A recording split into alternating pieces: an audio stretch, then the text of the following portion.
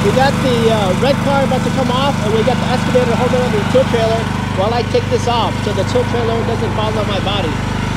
Hopefully it all works.